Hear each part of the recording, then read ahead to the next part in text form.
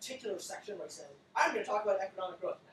Um, but is the title of his book, after all, is an inquiry into the nature and causes of the wealth of nations. If that isn't economic growth, I don't know what is. Um, people have also argued that Smith is irrelevant because he's before the Industrial Revolution. Well, as we saw that the first economic growth happened in Holland in 1650, Smith saw that. Smith actually studies Holland, so that's actually very he's, he's, he's very pertinent to the discussion.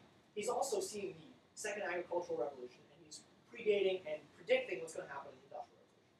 And his main um, arguments for what causes economic growth are the division of labor, uh, markets being larger, uh, geography and urban rural development, as well as actually interestingly interest rates, which is something very modern and something that we'll see in our, in our mathematical models.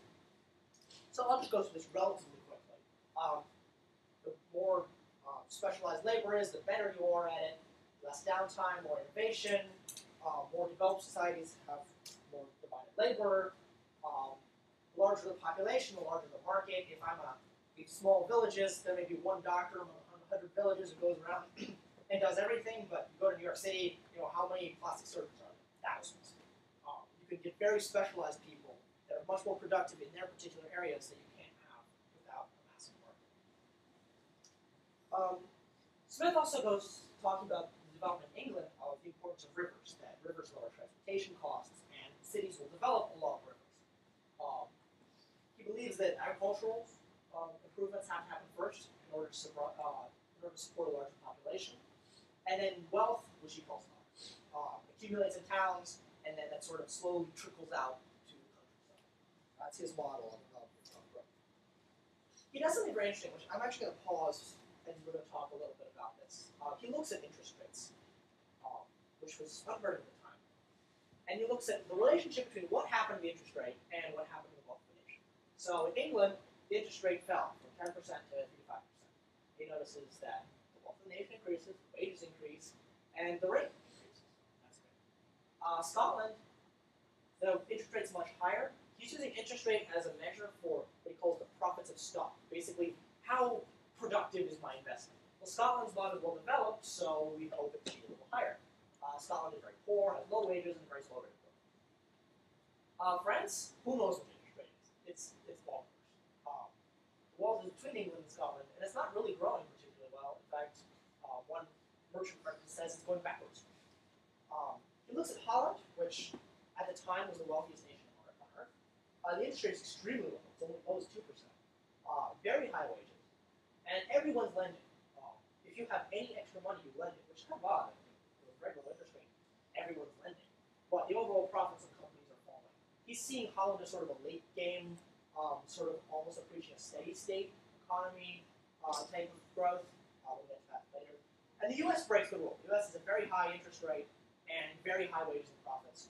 But he's saying that's because its land is underdeveloped, it's very highly productive. He doesn't call it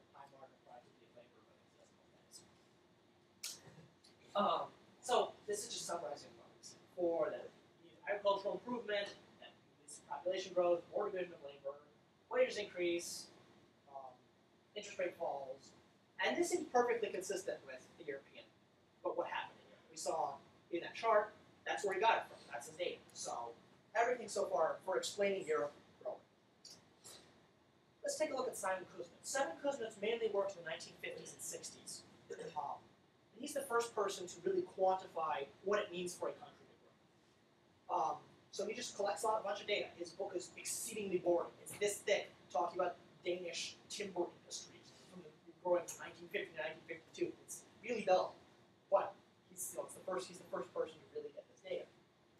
Um, basically, what he finds is that there's long, sustained growth in GDP in Western countries, and when you look at the developing world, it's not constant regular growth, and it's sort of all over the place.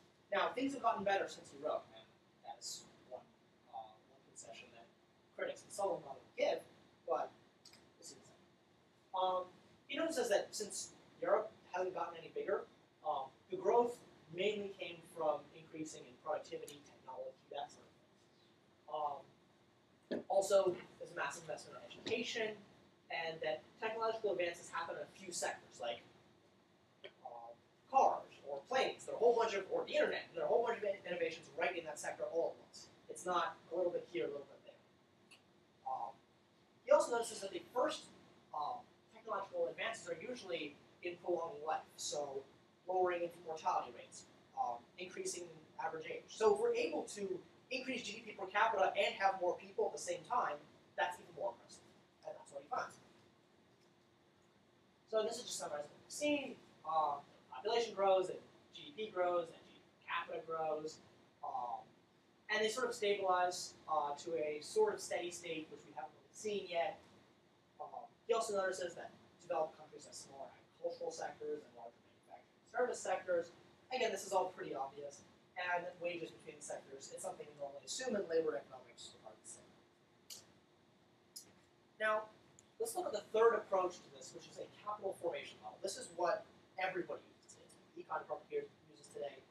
IMF uses, the World Bank uses, and a lot of their policies are based on this. It's they go to poor Latin American country and say, hey, if you do this, this, this, this, this, they'll be rich in no time. Yes. Isn't the IMF generally a bigger view to a lot of developing countries? Yes, because they do that, that, that, that, that, and then nothing happens. Maybe they get a little richer. Maybe they get much worse off. So let's talk about. We're going to see what's wrong with these two models. The Harrod-Domar model is the first one, and this one actually dates back to the 1940s. Um, this one I can actually explain to you because it's that simplistic. Y dot is the change in wealth is equal to savings rate times how productive your stuff is minus how much it costs to maintain your stuff. That's it. That's the model. Okay. Needless to say, if you try to plug in values and expect results. I mean, here's the thing: where's government? Where's education? Where's healthcare? Where's whether or not you're your natural endowment of resources? Where are your legal codes in that equation? Arguably, those things also play a role in economic growth. But yes, I'm assuming those variables are allowed to be functions. yes, absolutely. I mean, I, I am I'm lampooning it a little bit, but the main the main problem, and we'll see this in, my, in our critique later on, is that it's solely dependent upon savings and productivity capital. It doesn't factor in things that might that, that either are independent of productivity and capital, or as Kuznets will argue, just by crunching some number for marginal productivity capital, you're missing a lot of stuff.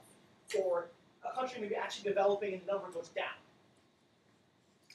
I'm not going to go through the math of the Solow model, but here's basic. He, he puts in much more complicated functions, much more complicated variables. And he basically concludes that the important things to look at are the ratio of capital per worker, which he holds as constant. Uh, the number of workers in a factory per machine is the same, which is not true. Um, and he looks at basically the only driving forces in these equations are um, technological progress and population growth. Those are in your and he he's, thinks that people will converge to some sort of steady state here, once the steady state, those are the only two things that are going to um, going to um, facilitate growth. Um, you can't really see it here, but if you start out with a very low amount of capital, the amount of actually you can't see it. Um, the initial growth is going to be much faster, and then as as the economy develops, it becomes slower and slower and slower. So this model would say underdeveloped countries are going to go really fast, really quick, and they're going to catch up pretty soon to us because we're going to be going sort of sliding down this curve. They're going to be going up this curve, be A, we're all going to be happy and equal. Doesn't happen. So here are the important uh, consequences of the Solow model. So we're gonna, all going to converge to some steady state. Uh, poor countries will grow faster. Um, once we get to the steady state, technology and population, the only things that can drive growth. However, this doesn't seem to be happening, and some people are arguing, um, see this backwards arrow, that's actually going the other way, and that we're moving away from the steady state. So where are we going? Who knows? Didn't wasn't around when Solow made his model, but he did criticize the Harrod-Domar model relentlessly. Um, true capital formation is associated with income per capita. Um, but there's very little difference. It's not like everybody in Nigeria does this and everyone in the US does this and they're radically different people. No, we have relatively similar behavior patterns when it comes to, to uh, saving or consuming things, but there's a wide variety Um, so on those few percentage points, all the difference.